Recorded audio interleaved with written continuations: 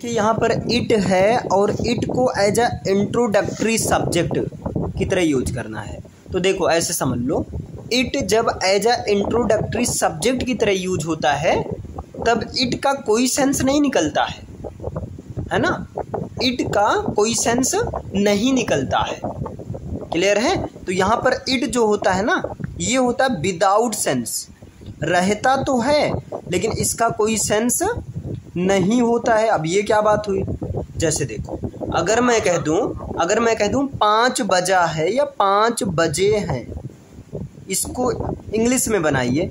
तो पाँच बजे हैं, इसको इंग्लिश में बोला जाता है it is five o'clock क्या बोलते हैं? It is five o'clock तो अभी यहाँ देखिए it is five o'clock यहाँ इट का क्या कोई सेंस निकल रहा है? नहीं। लेकिन इट को एज अ सब्जेक्ट यूज़ किया गया है।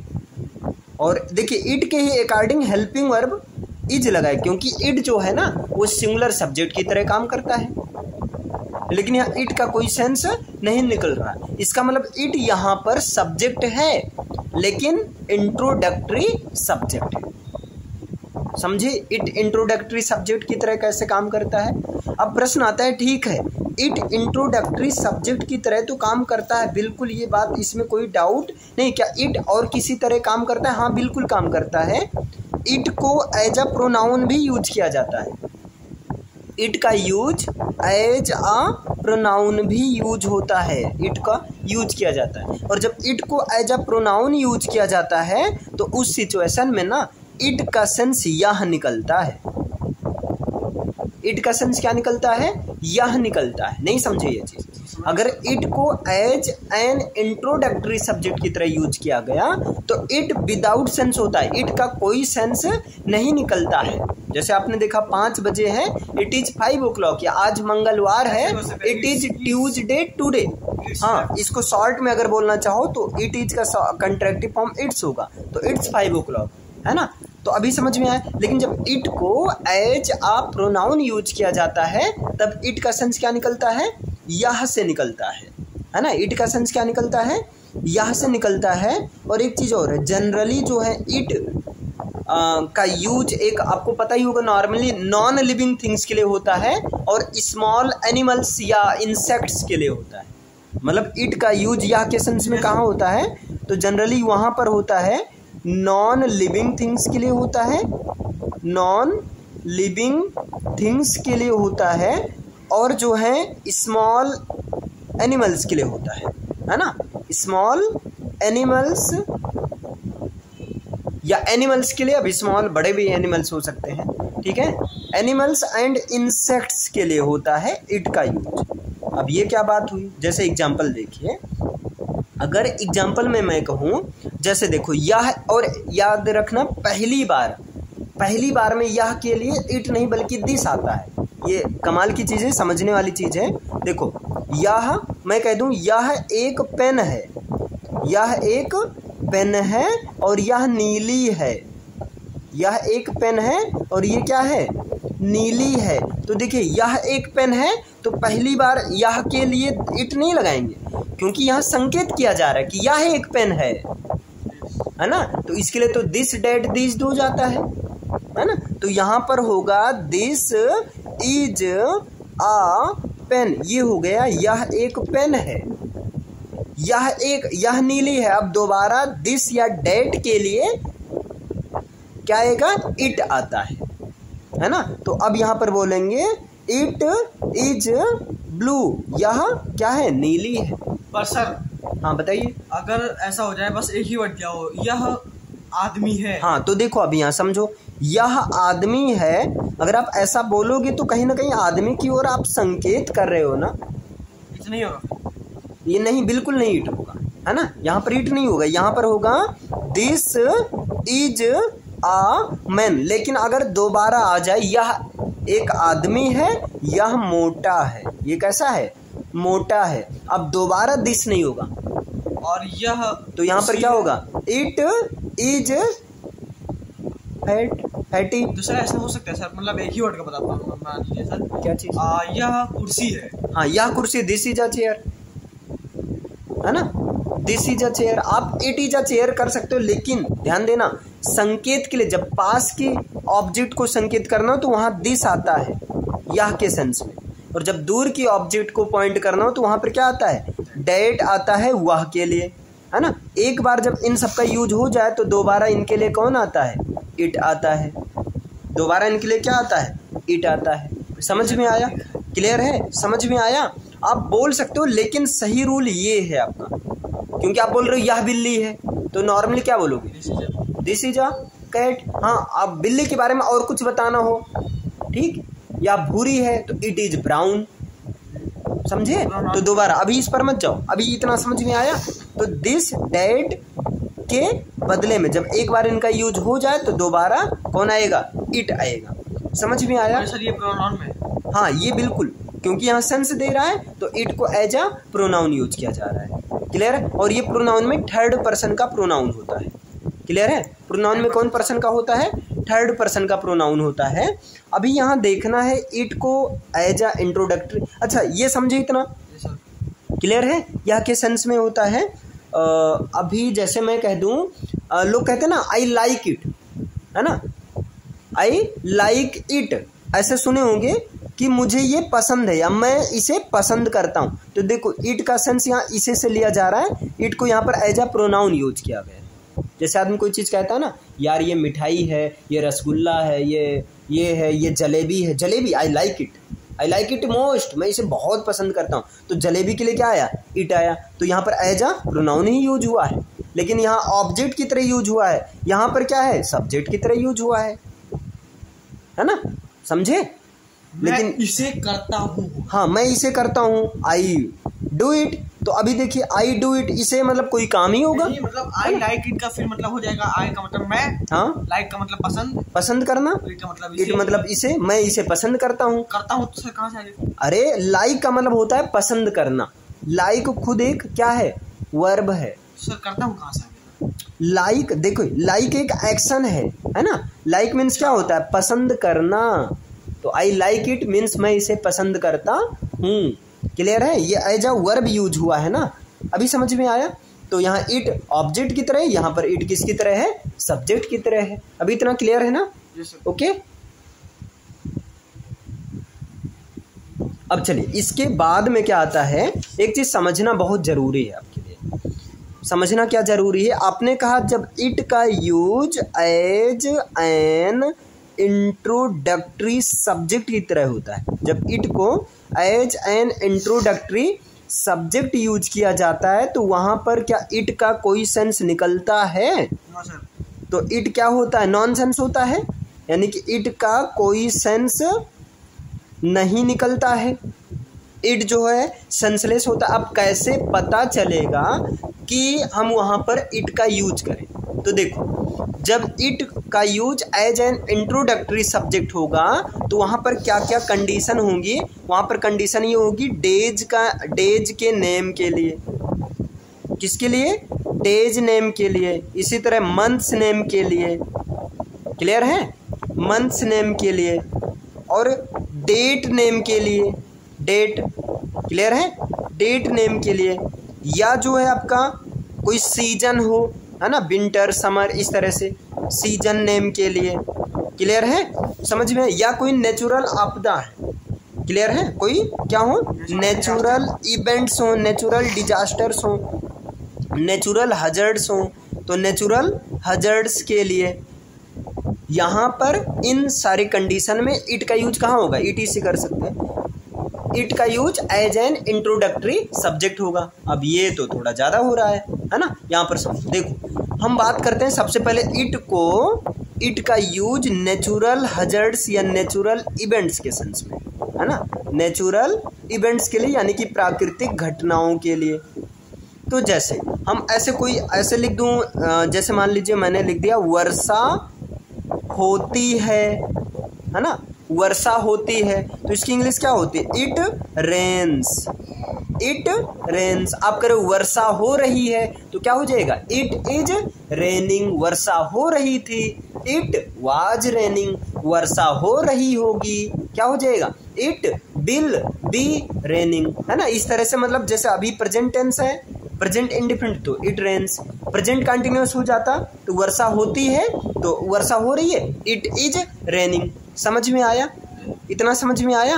अच्छा जैसे मैं कह दूँ, हवा चल रही है हवा क्या है?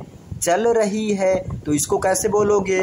इसको, अब ऐसे तो बोलोगे नहीं विंड इज़ गोइंग या कमिंग या ब्लोइंग है ना?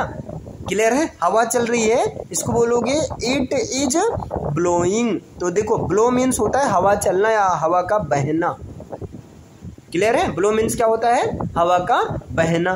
तो इट इज़ ब्लोइंग मतलब क्या हो गया? हवा चल रही है। मैं कह दूँ, हवा चलती है तो आप क्या बोलोगे? It blows.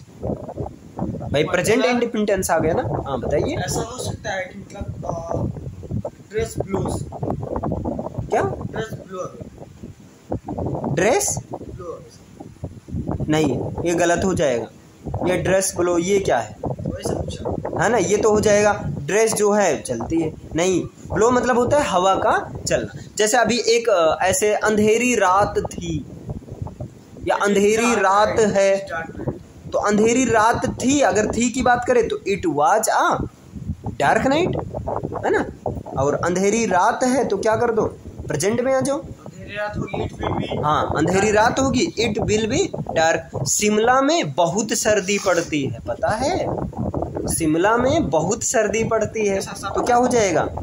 It is very cold मतलब बहुत ज़्यादा कोल्ड रहता है बहुत ज़्यादा कोल्ड होता है इन शिमला है ना?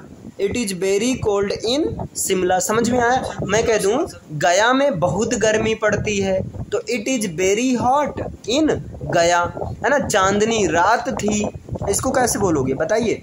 चांदनी रात थी। पास्ट की बात है तो it was a moonlit moonlit night मतलब चांदनी रात थी। क्लियर है? मूसलाधार वर्षा हो रही है तो it is raining cats and dogs cats and dogs ये फ्रेजल वर्ब है। है ना? मतलब हैवली क्लियर है? समझ में आया? तो इस तरह से और कहाँ पर ये तो हो गया नेचुरल हजर्ड्स के सेंस क्लियर है? किसके सेंस में हो गया? नेचुरल हजर्ड्स के सेंस में। अब डेट की बात करें, जैसे देखो, ये हो गया ना एक, है ना? यहाँ पर फिर देखिए डेज़ की बात करें तो डेज़ सेवन डेज़ जैसे आज मंगलवार है है ना? तो इसको कैसे बोलोगे? आज मंगलवार है, बताइए। इसको बोलेंगे इट इज़ ट्यूजडे टुडे है ना? It is Tuesday today means क्या हो गया? आज मंगलवार है। क्लियर है? अब आप कह रहे हो कल बुधवार होगा तो it will be it will be Wednesday tomorrow clear कल सोमवार था है ना? तो इट वाज मंडे यस्टरडे बीते हुए कल को यस्टरडे आने वाले कल को क्या बोलेंगे? टुडे नहीं, सर, टुमारो बोलेंगे। क्लियर है ना? अभी देखो मंथ्स के नेम के साथ में जैसे मार्च का महीना है तो it is the month of March it is June July date का नेम आप कोई ऐसे डेट बता सकते हैं ना? कुछ भी 1970 का दिन था या हाँ समय था 1970 अ, हाँ तो इट वाज 1970 क्लियर है? Going. इस तरह से सीज़न के जैसे गर्मी का समय है तो it is winter season clear है? इट इज़ विंटर सीज़न अब टाइम के सेंस का मतलब क्या हुआ? अभी जैसे बताया गया था छः बजे हैं। तो it is six o'clock शाम के छः बजे हैं। तो it is six P M शाम में पी एम होता है ना? सर शाम को होगा तो इवनिंग ना? हाँ इवनिंग आप बोल सकते हैं। पीएम लगा दोगे तो कवर हो गया। इट इज़ सिक्स पी या अभी समझ में आया इतना? क्लियर है? लेकिन अब एक होता है इट का स्पेशल यूज़ अभी तक तो नॉर्मल था आपका। अब इट का स्पेशल यूज़ है। स्पेशल यूज़ में क्या, एक एग्जांपल से मैं बताता हूँ, है ना? एक एग्जांपल से बताता हूँ, है ना? जैसे क्या होता है कि यहाँ पर एक, मैं एग्जांपल लिख रहा हूँ, कौन था जिसने मेरी कुर्सी तोड़ी? कौन था जिसने मेरी कुर्सी तोड़ी? अब बताओ कौन था? यानी कि हम ज़ोर दे रहे हैं। तो कौन था? इसको हु वाज तो कहेंगे नहीं। तो यहाँ पर बोलेंगे इट वाज हु ये बोलेंगे रुको रुको। इट वाज हु बोलेंगे? या बोलेंगे हु वाज इट क्या बोलेंगे? पहले ये बताओ। अच्छा। नीचे वाला होगा क्योंकि क्वेश्चन वर्ड तो भाई पहले रहेगा। तो हु वाज इट मतलब वो कौन था? जिसने मेरी क्या तोड़ी? जिसने मेरी कुर्सी तोड़ी तो डेट है ना? Broke my chair. That broke my chair. जिसने मेरी चेयर तोड़ी आप डेट के प्लेस पर हु का भी यूज़ कर सकते हो। क्लियर है बताएँगे हु डेट इन सब में डिफरेंस क्या है? हु ब्रोक माई चेयर दो दो बार क्लियर है? समझ में आया? हाँ इसीलिए तो यहाँ डेट लगा। क्लियर है। इसीलिए यहाँ डेट लगा। तो हु आज it that broke my chair है ना? एक चीज़ और याद रखना भैया। ये जो इट इज़ है इट इज़ प्रेजेंट में क्या रहेगा? इट इज़ पास्ट में क्या रहेगा? इट वाज प्रेजेंट में क्या रहेगा? इट इज़ और पास्ट में क्या रहेगा? इट वाज फ्यूचर में तो बिल भी रहेगा। इनके बाद में ना, हमेशा सब्जेक्टिव केस का यूज़ किया जाता है। हमेशा किस केस का यूज़ किया जाएगा? सब्जेक्टिव केस का यूज़ किया जाएगा। अब सब्जेक्टिव केस क्या होता है? तो यहाँ दो केस चलता है। पता है कि नहीं? एक होता है सब्जेक्टिव केस और एक होता है ऑब्जेक्टिव केस। जैसे सब्जेक्टिव केस ही और ही का objective case him. Subjective case she she का ऑब्जेक्टिव केस हर। इट का इट ही रहता है। यू का यू ही रहता है है ना? आई का ऑब्जेक्टिव केस मी होता है और बी का ऑब्जेक्टिव केस क्या होता है? अस होता है। दे का ऑब्जेक्टिव केस क्या होता है? देम होता है। क्लियर है ना? इस तरह चलता है। तो बताइए अगर मैं कह दूँ आ, मैं हूँ। जैसे दरवाज़ा नॉक किया आपके कौन? मैंने कहा मैं हूँ। है ना? तो देखिए मैं हूँ। इसकी इंग्लिश क्या सही होगी? इट्स मी सही होगी। या जो है इट इज़ आई सही होगी। इट्स आई सही होगी, क्या सही होगी? ये सही होगी, ये गलत होगी। क्यों? हमने क्या बताया? इट इज़ या इट वाज के बाद में क्या लगेगा? सब्जेक्टिव केस लगेगा। है ना? अच्छा सब्जेक्टिव केस क्यों लगा? इसका भी रीजन समझो। देखो, कौन है? आपने कहा, मैं हूँ। बात किसके बारे में आप कर रहे हैं? बात किसके बारे में कर रहे हैं? अपने बारे में कर रहे हैं? यानी कि आप सब्जेक्ट हैं? इसलिए आई लगा है ना? क्लियर है?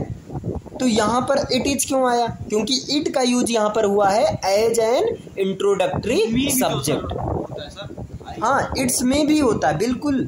स्पोकन में यही चलता है। लेकिन ग्रामर कहता है मुझे रूल नियम से बनाओ। क्योंकि नियम में तुम हमें नहीं बनाओगे तो हम तुमको निपटा देंगे एग्ज़ाम में है ना? मतलब ग्रामर तो भाई रूल के अनुसार चलेगा। स्पोकन का क्या है? कुछ भी बोलो बस अगले को समझ में आना चाहिए। तो देखो स्पोकन में तो यही होता है इट्स मी लेकिन सही क्या है? It's I. क्लियर है? याद रहेगा ना इतना?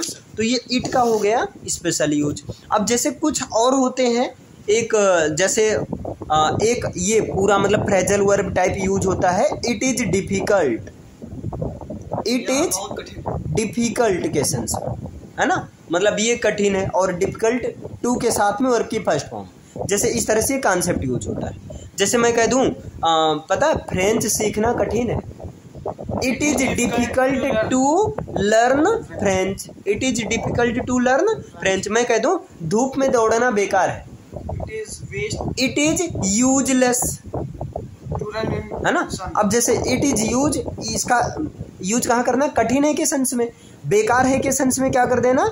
इट इज़ यूजलेस इस तरह से कॉन्सेप्ट बनता रहता है। क्लियर है? इट इज़ यूजलेस टू के साथ वर्ब की फ़र्स्ट फॉर्म बासी खाना खाना बेकार है। तो it is useless to eat the stale food clear है ना? इस तरह से यूज़ इसी तरह आप जैसे कहते हो ना, कहना सरल है, पर करना कठिन है। है ना? तो कहना सरल है। तो it's easy it's easy to say but difficult to do देखिए, बढ़िया है। इट इज़ इजी या इट्स इजी टू से है ना? It's easy to say means कहना सरल है। इट्स इजी टू से कहना सरल है, लेकिन करना मुश्किल है but difficult to do but difficult to do देखिए, ये ऐसा वर्ड है, लोग बहुत ज़्यादा यूज़ करते हैं, है ना? कि it's easy it's easy to say मतलब कहना तो आसान होता है बट लेकिन डिफ़िकल्ट टू डू लेकिन करने में क्या लगता है वो? कठिन होता है डिफ़िकल्ट मुश्किल होता है। समझ में आया? इसी तरह आप ऐसे आ, कर सकते हैं कि यार पता है उससे बात करना बेकार है मूर्खतापन। तो it is foolishness it is foolishness to talk to him इस तरह से आप बना सकते हैं है ना? क्लियर है? जैसे आप करो नहीं नहीं यार आजकल ना स्त्रियों को जागरूक जागरूक करना अर्थात शिक्षित करना ज़रूरी है। तो अब ज़रूरी है कि सेंस में क्या यूज़ करूँ? इट इज़ नेसेसिटी देखो, कई सारे बन जा रहे हैं ना। ज़रूरी है के लिए नेसेसरी होता है ना। तो it is necessity to educate the women necessary नहीं होगा। नेसेसिटी होगा। क्लियर है? क्योंकि, देखो नेसेसरी और नेसेसिटी दोनों में अंतर है। यहाँ पर हमने क्या कहा? कि जागरूक करना ज़रूरी है। इज़ के बाद आप यूज़ कर रहे हैं एक तरह से एडजेक्टिव है ना? तो इट इज़ नेसेसिटी नेसेसरी कर दो। इट इज़ नेसेसरी है ना? इट इज़ नेसेसरी और टू एजुकेट द वुमेन आप नेसेसरी का ही यूज़ कर दो। To educate the women clear है। अभी समझ में आया? अभी इतना क्लियर है?